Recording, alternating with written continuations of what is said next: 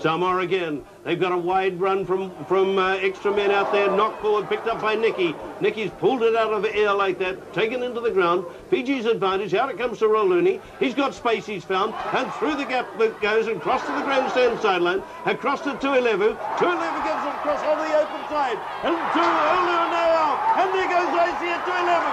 Tuilevu up and gets it into the center field. And gets it back into Alfred. And Alfred goes round behind the post and wonderful play and the sensitivity of Western Samoa driving at the at the attack just had the ball passing, moving, and Western Samoa couldn't stem that drive, and Alfred has gone in.